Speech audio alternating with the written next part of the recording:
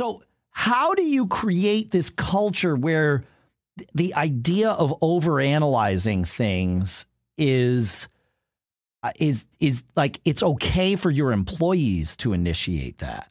Like, I, and I don't. I, I, we have a culture of overanalyzing. It will come as no surprise to anyone who's listening to this show, right? That clearly at the businesses I have, we are constantly overanalyzing things. Like, how could this interaction have gone differently? What can we learn from it? What was good? What was bad? We're always doing this because it helps us get better.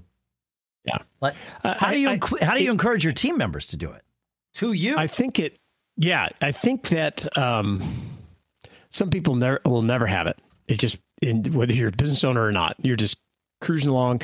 But if, yeah, you're, if you're not, yeah. yeah, you just don't have it. Doesn't mean you're not great at other things. No, no. But uh, you just you don't know, have this. Just, yeah, you just don't have that. So I think it's uh, important to try to surround yourself with people that are good at things that you're not.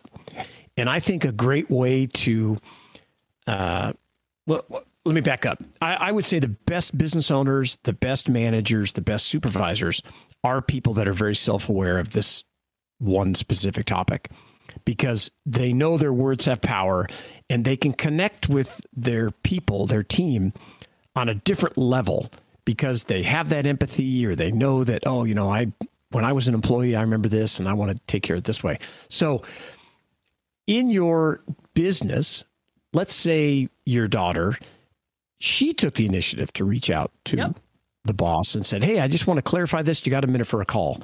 Well, if if you're running the business and you and you're getting that feedback up to you, where maybe you should have asked and, and taken the initiative, that person is somebody you really want to take good care of because I would say that person is going to advance in your organization. They're going to add a different level, and you can ask them, "Hey, when you if you're you know let's say they become a supervisor a manager a, a, a, vp whatever have them call you out on those things. Right. Have them help help you